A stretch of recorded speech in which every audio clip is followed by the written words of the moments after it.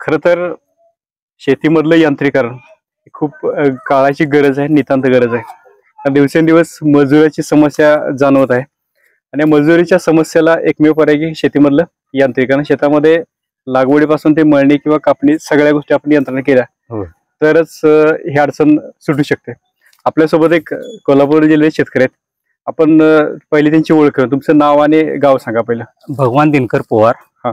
राहणार सिंधूर बर. तालुका कागल जिल्हा कोल्हापूर. जिल्हा कोल्हापूर.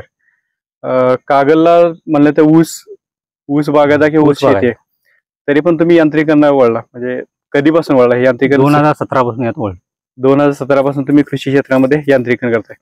बर. अ, आता ही आपल्या पाठीमागे उभी आहे ही भात मळणीची मशीन आहे. म्हणजे पूर्णपणे मळणी होते आणि भात बाजूला होतं. भात- पेंडा गवत बाजूला होतं. तुमची भात शेती किती आहे?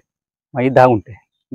दहा गुंठे असून सुद्धा तुम्ही मशीन खरेदी केली. होय. या मागचा तुमचा उद्देश काय? अं, मजूर मिळत नसल्यामुळे गावातली अडचण जी होती लोकांची हा. त्यासाठी मी यात उतरले म्हणजे ठीक आहे. म्हणजे शेतकऱ्यांना घेण्यासारखा मुद्दा आहे की जरी आपली शेती नसली तरी एक शेतकऱ्यांच्या प्रती असणारी आपुलकी आहे किंवा एक सामाजिक बांधिलकी जो अन्नदाता आहे त्याला काही ते आपला हातभार लागाव. ठीक आहे तुम्ही मोफत करत नसला तरी ती अडचण दूर करण्यासाठी हो, हो. तुम्ही मशीन भात मळणीची मशीन आणि ट्रॅक्टर खरेदी केला. दोन हजार सतराला तुम्ही खरेदी केला. ठीक आहे त्यावेळेला अंदाजी किंमत काय होती ह्या मशीनची मशीनची दोन लाख पंचवीस हजार. दोन लाख पंचवीस हजार. ट्रॅक्टर तुमचा पहिला स्वतः होता? माझा पहिलाच आहे. आता हे गेलं तुमची दहा गुंठे शेती झाली तरी काही एक तासाचा विषय असेल हो. फार तर. नंतर तुम्ही सगळीकडे हे तुमची सेवा पोहोचत पोहोचवत गेली. आता या मशीनचा खर्च किती वर्षामध्ये वसूल झाला? एक दीड सीझन दोन सीझन हा दोन सीझन म्हणजे म्हणजे दोन वर्षामध्ये तुमची मशीन नील. झाली. आणि इथून पुढे तुम्ही दोन हजार एकोणीसपासून नफ्यात आहे. होय. पुढची गोष्ट की शेतकरी मोस्टली भात शेतीमधले शेतकरी यांत्रिकरण करायला नको म्हणतात. म्हणजे अशा मशीन घ्यायला धाडस करतात तुम्ही काय सांगाल त्या शेतकऱ्यांना? म्हणजे किती गरजेचं आहे यांत्रिकरण गरजेचं म्हणजे मजूरच आता मिळत नाहीत नाही हा.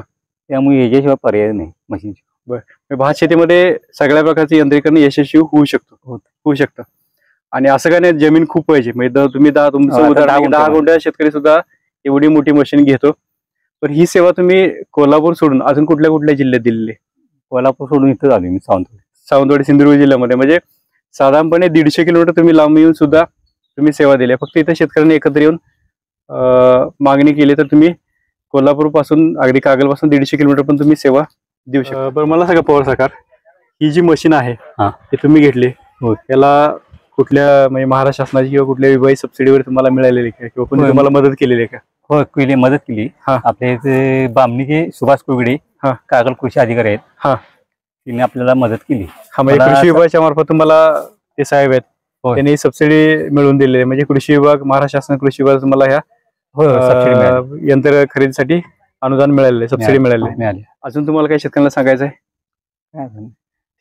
ह्या सुगीच्या दिवसामध्ये सुद्धा तुम्ही वेळ दिला त्याबद्दल तुमचे आभार धन्यवाद